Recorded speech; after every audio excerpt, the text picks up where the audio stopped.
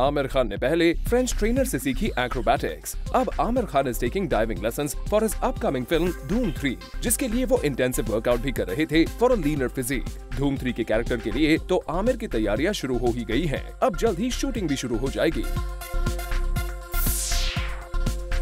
फराह खान अपनी फ़िल्म शरीन और फरहाद को लेकर इतनी एक्साइटेड है कि उनके मुताबिक इस फ़िल्म में बमन और उनके कैरेक्टर को देखकर ऑडियंस शाहरुख और काजोल के डीडीएलजे की जोड़ी को भूल जाएगी। और फराह को पूरा भरोसा है कि इस फ़िल्म के बाद उन्हें कई फ़िल्म के ऑफर्स आने वाले हैं, लेकिन वो उनमें इंटरेस्टेड नहीं है।